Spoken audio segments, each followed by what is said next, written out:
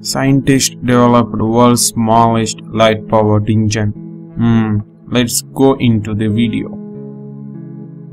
A group of researchers from University of Cambridge have built the world's smallest working engine. The research team was led by Professor Jeremy Baumberg from the Cavendish Laboratory.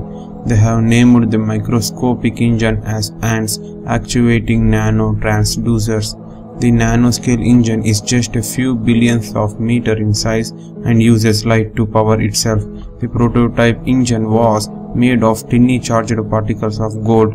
It was bound together with temperature responsive gel like polymer called PNIPAM. Working of it on heating the engine above critical temperature with a laser, it stores large amounts of elastic energy in a fraction of a second. The elastic energy is mainly produced after the gold particles are bound tightly together with the polymer through intermolecular attraction. When it falls below critical temperature, the polymer suddenly absorbs water and expands. The gold particles are pushed rapidly apart like a spring. The stored energy generates a propulsive force on a microscopic scale that is a hundred times greater per unit weight than any known motor or muscle. Significance The nanoscale engine could form the basis of future nano machines.